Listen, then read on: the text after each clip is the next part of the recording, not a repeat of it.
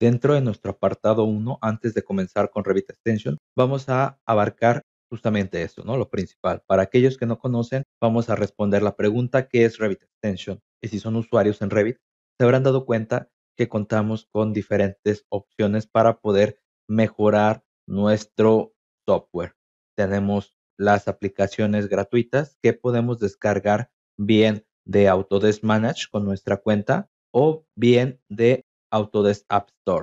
Eh, además de Revit, hay otro software en donde podemos mejorar eh, las funcionalidades con estas páginas y estas opciones que tiene Autodesk Revit Extension surgió como una aplicación generada por Autodesk que iba actualizándose año con año. A partir de la versión 2019, esto tuvo un cambio. Eh, Autodesk dejó de fabricar esta extensión y le cedió los derechos a Naviet. Naviet es una empresa eh, dedicada a generar plugins de paga en su mayoría, la cual, bueno, es una empresa que tiene otras posibilidades y otros plugins adicionales. Para este caso vamos a utilizar Naviet Revar Extension. Como pueden ver, les voy a dejar la descripción en el vínculo de recursos o en los comentarios. Como podrán darse cuenta, Naviet Revar Extension a esta época todavía no ha salido la versión 2020, por lo cual estamos desarrollándola en 2019.